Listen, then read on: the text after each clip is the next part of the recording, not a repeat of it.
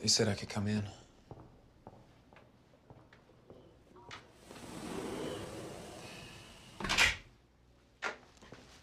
I've been trying to see you. They said you couldn't have visitors Why? because of. Because of.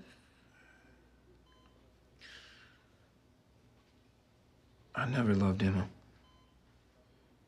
I guess she and I have that in common. Look, I have no excuse for what I did. I don't know if you can ever forgive me. And I know that I have no right to ask you for another chance. But I'm asking.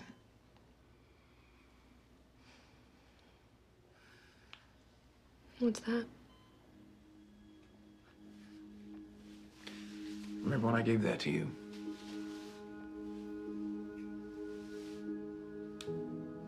It's the plastic ring we got in Vegas. It's a little melted.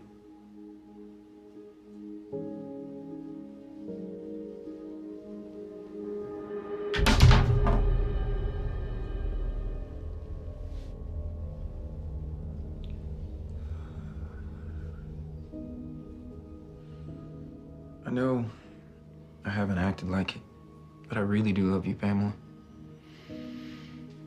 I never thought about how this could hurt you. What makes you think I'm hurt? You tried to kill yourself, Pamela. If I wanted to kill myself, I would not have driven over to your hotel room to do it. I did what I did so that every time you think about screwing that piece of trash, all you'll be able to see is me on the floor with my eyes rolled back in my head. Sexy, huh? Please don't do this. We're done here. Goodbye. I'm not giving up on us. Good luck with that.